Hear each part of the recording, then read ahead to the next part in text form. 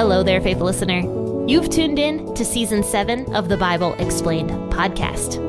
So make sure to grab your cup of coffee because today we are going to be discussing the book of Acts.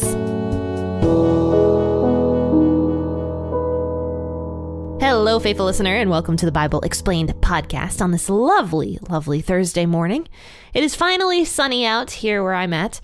Hopefully, the weather has been good for you guys as well. But today we're going to be discussing Acts chapter 15, verses 1 through 11 today. And even though it's a very short portion of scripture, there is a lot to talk about here because we're going to be talking about the Old Testament law and whether or not the Old Testament law should still be followed today and if we even need the Old Testament law. So let's get into this. I'll be reading Acts 15 1 through 11, and I'm very excited to announce that I am back to drinking coffee in the morning. So uh, I'm, I'm happy again that I'm able to drink coffee.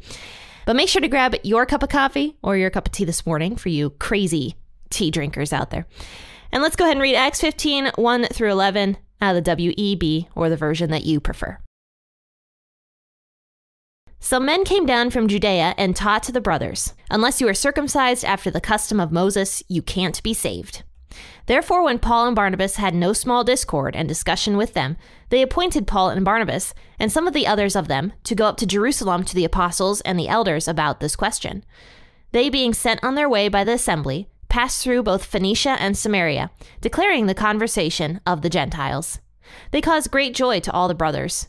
When they had come to Jerusalem, they were received by the assembly and the apostles and the elders, and they reported everything that God had done with them. But some of the sect of the Pharisees who believed rose up, saying, It is necessary to circumcise them, and to command them to keep the law of Moses. The apostles and the elders were gathered together to see about this matter. When there had been much discussion, Peter rose up and said to them, Brothers, you know that a good while ago God made a choice among you that by my mouth the nations should hear the word of the good news and believe. God, who knows the heart, testified about them, giving them the Holy Spirit, just like he did to us. He made no distinction between us and them, cleansing their hearts by faith. Now, therefore, why do you tempt God, that you should put a yoke on the neck of the disciples, which neither our fathers nor we were able to bear? But we believe that we are saved through the grace of the Lord Jesus, just as they are. So you can see the problem that some people might have with this portion of scripture, right? Because it almost seems like what's the point of the Old Testament if it's just a yoke, like Peter talked about, and how it's so hard to bear, and how even the Israelites couldn't bear it, and now the Gentiles can't bear it? What is the point of the Old Testament. But before I answer that, let's go back to verse 1. It says, Some men came down from Judea and taught the brothers, Unless you are circumcised after the custom of Moses, you can't be saved. So you can see how that is a huge problem that there's these men coming down from the region of Judea to Antioch, which is where this church was. And don't forget, Antioch was the biggest Gentile church of this time period. It was like the first Gentile church, and it had a lot of Gentile members. And it was started by Paul and Barnabas. And Paul and Barnabas were there at that church during this time period because that was kind of like their home church. So these guys come down from Judea to spread this message that Gentiles cannot be saved unless they are circumcised by the Old Testament standards. Now, if you're wondering what this is referring to, circumcision was the first covenant God ever made with the Israelite people because he made it with the founder of the Israelite nation, which was Abraham. So Abraham was like the first patriarch of Israel. So God came down to Abraham and was like, I have set you apart. You are different among everybody else. And I am going to someday bless your descendants greatly. And so God and Abraham like made this covenant or this promise with each other. And so God made a promise that he was going to bless Abraham's children. And in response, God commanded Abraham to get circumcised because circumcision was not something that people ever did, right? Because who would think to do that, you know, to circumcise yourself? So God explained circumcision to Abraham, and Abraham did it. He circumcised himself and he circumcised all the men of his household. Now, this was only for men Okay. God never commanded circumcision for women at any point in time ever. So circumcision kind of became the custom for Israel because God commanded it from Abraham and from Abraham's descendants. So all of the Israelites, to show that they were different from the nations, would circumcise their male babies on the seventh day, I believe, after they were born. And even Jesus went through the circumcision process, right? When he was seven days old, his parents took him to the temple and uh, he got circumcised on the seventh day. So it was a covenant that God made with his people, and that's why circumcision was so important to Israelites. And to this day, it is still very important to Israelites because it's the first covenant. So these men are coming down from Judea to teach the Greeks and the Romans and the Gentiles who are at this church in Antioch that they are not saved unless they go get circumcised. So it says in verse 2 that Paul and Barnabas had no small discord and discussion with them. So basically, Paul and Barnabas are like, no, this is not true. Circumcision is not what saves you. And so there's this big discussion, and it sounds like an argument kind of broke out between Paul and Barnabas and these men that were teaching this stuff to the Greeks. And so you can see how this would cause a big problem because these Greeks, these Gentiles at Antioch, are thinking that they're saved thinking that they're doing the right thing. And now they're like, oh my gosh, what if we're not saved? And so the men from Judea are, are spreading this seed of doubt with the Gentiles, being like, no, you're not actually saved. You have to do this along with your belief in Jesus to achieve salvation. Now we know that from the gospel message, we know that this is not true. Like you and I reading the Bible, we know that the only way we can become saved is through the grace of Jesus. You know, there's nothing that you and I can do, nothing at all that can save us. And so circumcision obviously does not save us. But at this point in time, the people, the Jews specifically, believing that the Old Testament was still the way of salvation, were probably very confused on this issue. And it is a confusing issue because to this day, people are still confused about the role of the Old Testament. There's actually a group of Christians, I forget the name of them, but there's a group of Christians who follow the Old Testament, and they're not Messianic Jews, by the way. They are like a sect of Christianity who they like wear tassels and stuff like the Old Testament tells them to do, and they wear like certain things and they don't eat certain foods and they try to follow the Old Testament as closely as they possibly can in the modern day. And so there is a lot of confusion with the Old Testament. And obviously, you know, the Jews at this time, they're probably very confused about the Old Testament because it's hard to accept that there's nothing we can do to attain salvation. It is hard to accept. And yet, that's what it is. There is nothing we can do to attain salvation. It is all through God's love of you and of me that is how we attain salvation is through God and just believing in the message of Jesus. So Paul and Barnabas after having this big discussion, it says that the church actually appointed Paul and Barnabas and a few other people to go up to Jerusalem to discuss this issue with the apostles in Jerusalem. So this would be like Peter, James, and all the other disciples, right? So Paul and Barnabas, it says, on their way up to Jerusalem, they travel through Phoenicia and Samaria, declaring the conversation to the Gentiles and discussing it with them. And it actually says that the this conversation caused great joy with the Gentiles. So maybe um, they were also confused on this issue as well. The Gentiles in these two regions. They might have been like, oh my gosh, we do have to keep the Old Testament law and we have to get circumcised and we have to believe in the message of Jesus. And so Paul and Barnabas explaining to them, like, no, you don't have to, like, you have to believe that Jesus is going to save you. That is the only way you can achieve salvation.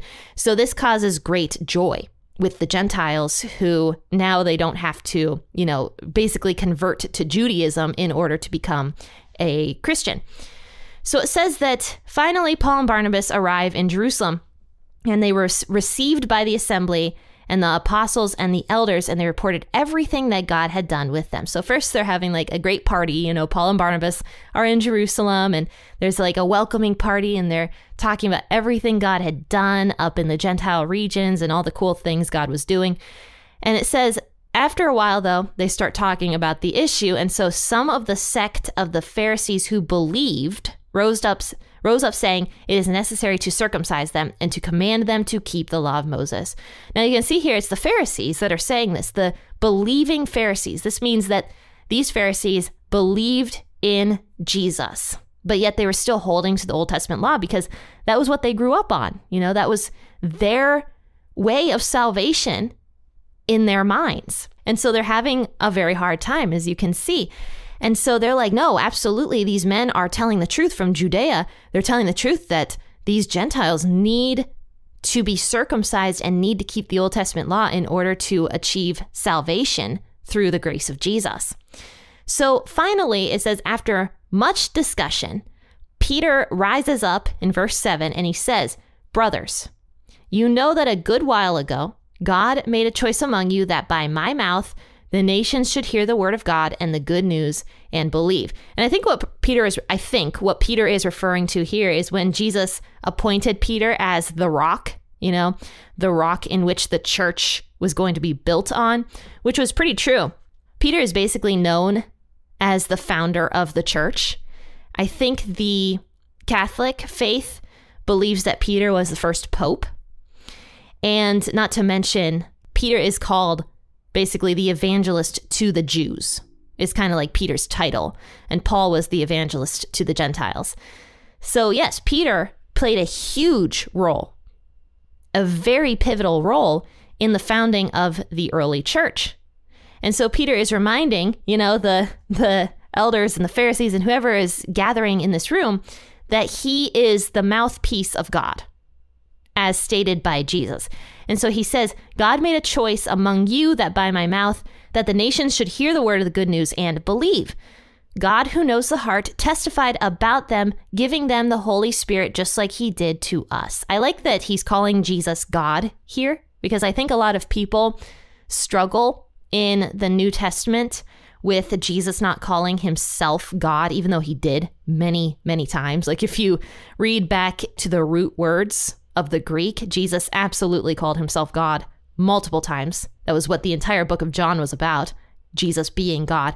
But because Jesus doesn't specifically say the words, I am God in the English language, I think people struggle with that. And Peter is calling Jesus God here. He says, God, who knows the heart, testified about them, giving them the Holy Spirit just like he did to us. So it says, God made no distinction between us and them, cleansing their hearts by faith. And that is the most important thing that Peter says here. He's like, the Gentiles have been saved.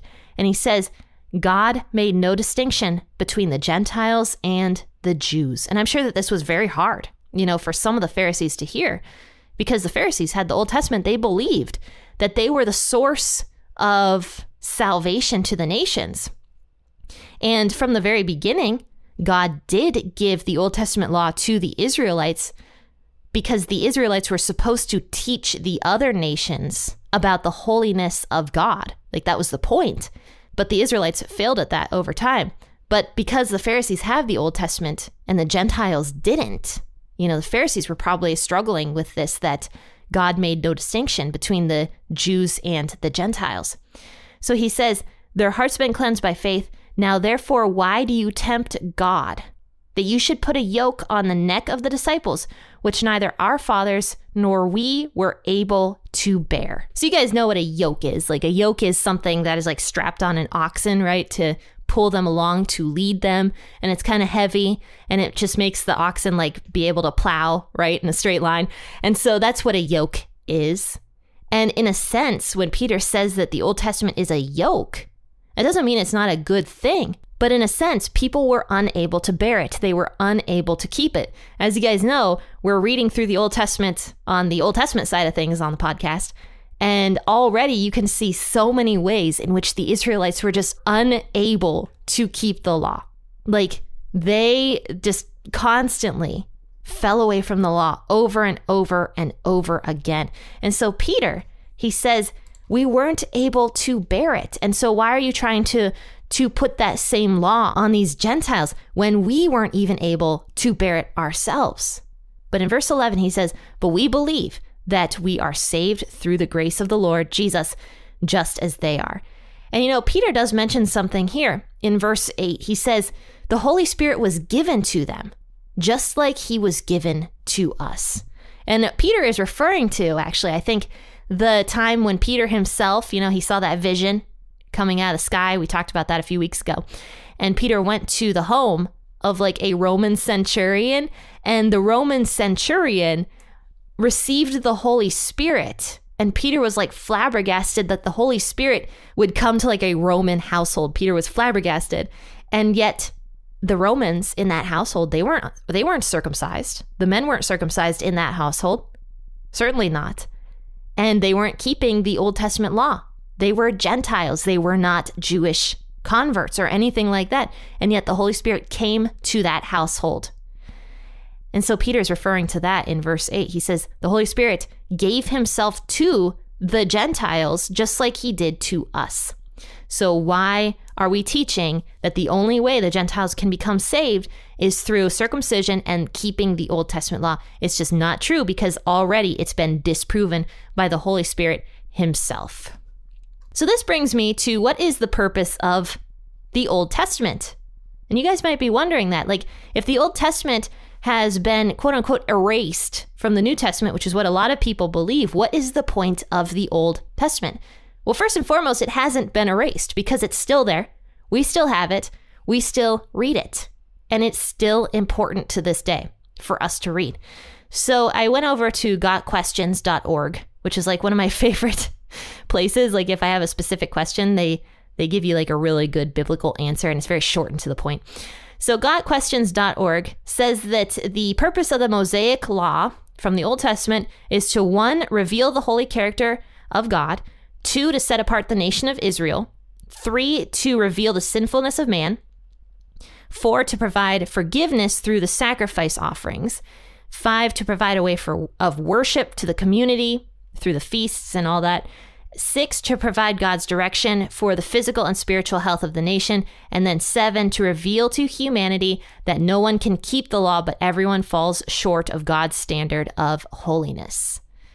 So that's the purpose of the Old Testament law. It was to show how powerful God really is as compared to humans. It was to show how humans can't keep the Old Testament law. In other words, there's no way of salvation other than through the grace of Jesus. And thirdly, it was for, you know, basically Israel to be healthy and set apart from the nations. So I think that to this day, the Old Testament is still important and that Christians should be understanding the Old Testament law. Because, firstly, the Old Testament law reveals the holy character of God. And it is so important for us Christians to understand the holy nature of God if we are going to worship God. And the Old Testament law really reveals God's character and how holy he really is. Secondly, to set apart the nation of Israel as distinct from the other nations. You know, even though the Old Testament law was given to the Israelites, us Christians now, we are considered God's people. The Gentiles have been grafted in along with the Israelites. So we are all part of God's people if we worship Jesus. So the Old Testament law shows us ways that we can live distinctly from other people, especially when it comes to morality.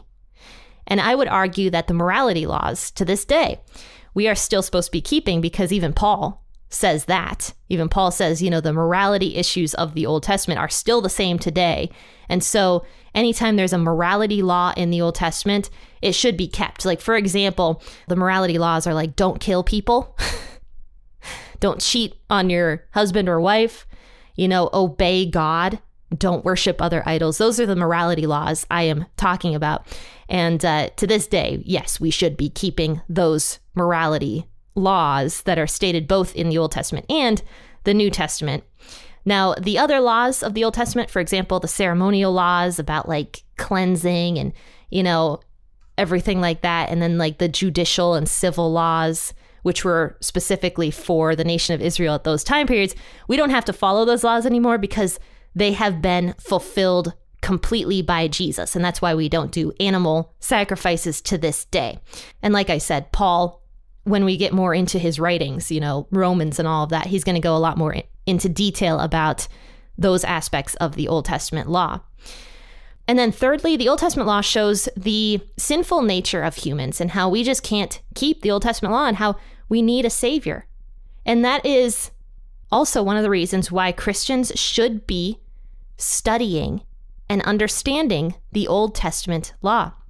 So, yes, the Old Testament law is still important to this day, but it did not provide salvation to the nations. Only Jesus' blood could do that. So the Old Testament laws, they are not what grants salvation.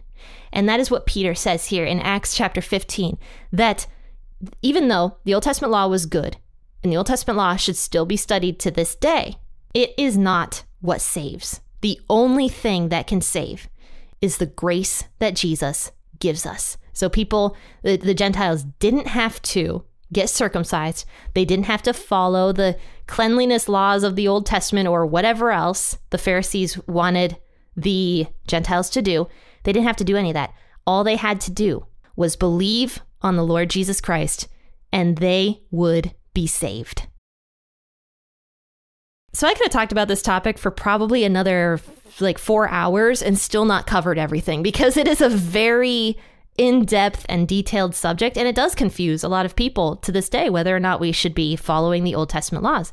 But in a nutshell, yes, the Old Testament is still important and we should still be reading it and, you know, following the morality of the Old Testament and the New Testament. But no, the Old Testament does not need to be kept to a T in order for us to be saved. The only thing that can really save us, not even the morality laws of the Old Testament, by the way, the only thing that can save us is the grace of Jesus Christ. And so just be thankful that you have that freedom to be a Christian because, you know, Jesus' grace is very, very freeing. You know, we don't have to follow little set rules or anything like that in order to go in heaven. And that is what's so different about Christianity, by the way. it's so different because, you know, any other world religion you look at, you have to do like specific things in order to achieve their version of salvation.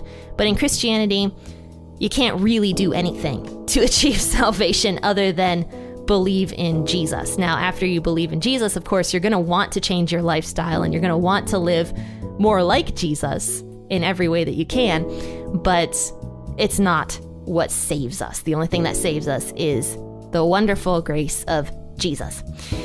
So, friends and faithful listeners, I hope you enjoyed today's episode. And if you did, please rate it and share it on your social media platforms. But, guys, I'll see you all tomorrow for an episode out of First Samuel. And we will be talking more about Hannah's story and the birth of Samuel. Guys, I'll see you tomorrow, 6 a.m., or whenever you choose to wake up. Happy listening, and God bless.